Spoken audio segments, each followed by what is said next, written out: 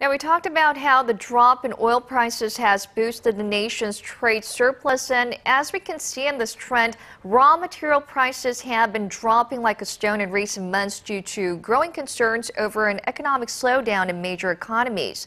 Now, going back to global oil prices, a data compiled by financial institutions in Korea shows that global oil prices have fallen by around 25 percent over the last four months alone.